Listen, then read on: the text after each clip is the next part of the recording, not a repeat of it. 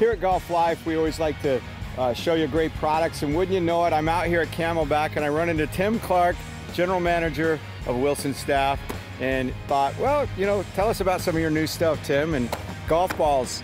Uh, Yeah, it's- awesome thing for people to know about. Absolutely. I mean, the Duo Ball's been uh, the most successful ball launch in Staff Titanium, which was a record-setting uh, sales golf ball for us, and uh, it's a low compression product.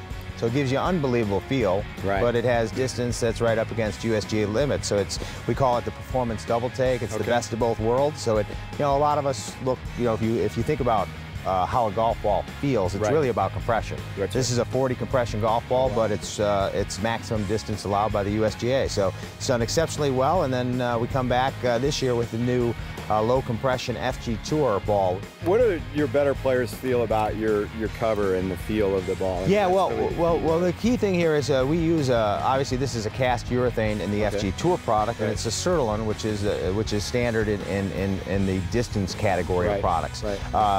Right. The key to low compression though is really the core and Okay. core technology. We use a patented uh, technology in a rubber-rich core, 97% right. pure rubber, and that's really how we get the compression factor.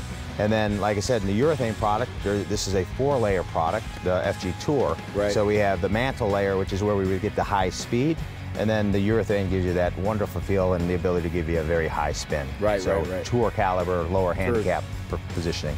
Well, I, I encourage everyone to get out to your golf stores here in the holiday seasons as we approach January and get yourself uh, the Wilson golf ball. Get it out there on the range. Uh, get it out there on the course actually and find out how it works. See how it performs. Just All try right. it. I think uh, you know we've had great success. All you got to do is try it, and many people convert.